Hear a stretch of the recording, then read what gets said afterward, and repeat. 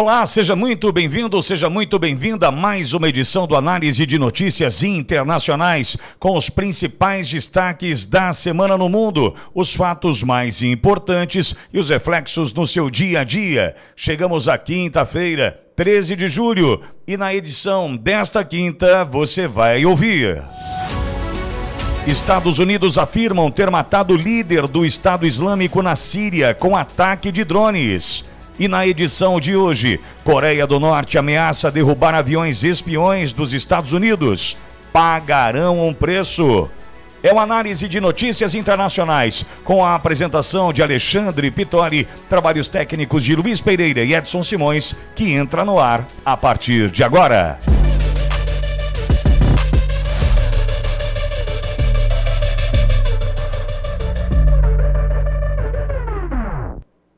Sempre te fazendo aquele convite para você já participar conosco via chat, deixando também o seu like, o seu joinha e sua inscrição no canal Daniel Toledo, canal que tem muita informação valiosa para você. E o engajamento transforma o nosso trabalho por aqui. Então, se puder, por gentileza, seu like, seu joinha, sua inscrição em nosso canal, seja bem-vindo, seja bem-vinda.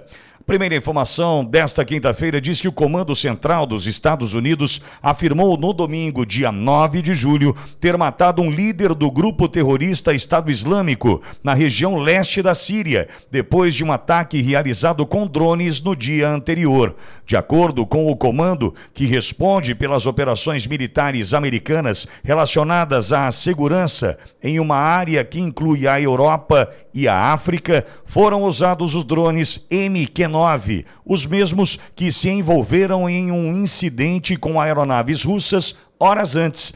No decorrer do último ano, Washington intensificou ações contra atividades que suspeitam ser da facção extremista no país do Oriente Médio, matando e prendendo vários de seus líderes.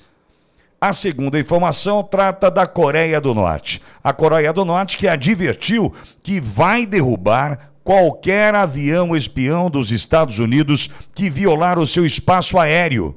O país ainda criticou os planos de Washington de enviar um submarino com mísseis nucleares para a região da Península Coreana. Um porta-voz do Ministério Norte-Coreano da Defesa Nacional disse que um avião espião americano realizou voos provocativos neste mês, incluindo que entrou no espaço aéreo do país várias vezes. O porta-voz também citou incidentes anteriores quando Pyongyang derrubou aeronaves americanas e alertou que os Estados Unidos pagarão um preço pela espionagem aérea encenada freneticamente.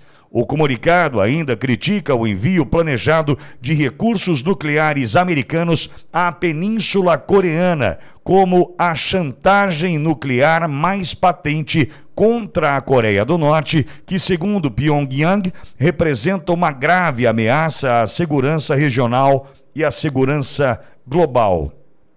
Na verdade, dois eventos em um. Por isso, nós trouxemos as duas informações para você: a morte de um líder do Estado Islâmico e também essa relação com a Coreia do Norte. Pode parecer uh, que não há conexão, mas nós estamos a um ano e pouco das eleições nos Estados Unidos. E a gente sabe o quanto esse tema é caro para o norte-americano do ponto de vista de exercer a função de ser o xerife do mundo, de cuidar de todos, enfim. E essa provocação à Coreia do Norte, o aviso da morte do líder de um Estado Islâmico, vem do ponto de vista político para colocar Joe Biden né, sob o olhar daqueles que não consideram este ser capaz de cuidar destas questões, em especiais militares, bélicas, pelos Estados Unidos nesta gestão. Eu não consigo achar que não há um calendário eleitoral nisso. Eu não consigo acreditar que não há, de fato, um calendário eleitoral preparado para um ano e pouco antes estas ações, longe, muito longe do território americano, venham a acontecer. Lembrando que nós temos ainda um conflito Rússia e Ucrânia, perde força na mídia, mas está aí a OTAN dizendo que não, a Ucrânia ainda não, a OTAN que até outro dia disse que poderia entrar, né, os Estados Unidos provocando, enfim. Só que nós temos um conflito ainda não resolvido. Nós temos uma China aliada à Rússia, à Rússia. Nós temos uma Ucrânia que ainda pede socorro. Nós temos uma Ucrânia que tenta fazer com que a, a OTAN se movimente. Então, diante disso, esse tipo de provocação e esse tipo de notícia, né, a morte de um líder do Estado Islâmico e a provocação junto à Coreia do Norte, me leva, me leva a crer que tem mais do que geopolítica, dominação, tem um calendário eleitoral por trás disso. Não tem, não? Não tem esse cheiro para você? É para a gente pensar. Este é o Análise de Notícias Internacionais e ao longo dos próximos dias nós vamos trazer temas importantes por aqui. China prevê melhora nas relações com os Estados Unidos durante visita de enviada de Biden a Pequim. Travessias ilegais na fronteira sul caíram 44% e o pedido de asilo pelo CBP, a CBP One, aumentou. Vamos falar também ao longo dos próximos dias. Em 2023, os Estados Unidos receberam 23% a mais de brasileiros com alto grau de experiência.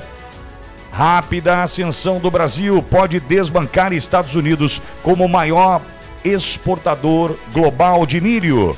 Estados Unidos planejam transformar Índia em centro de logística naval para rivalizar com a China. Calmaria nos parque da, parques da Disney preocupa a companhia. E vamos falar também ao longo das próximas edições.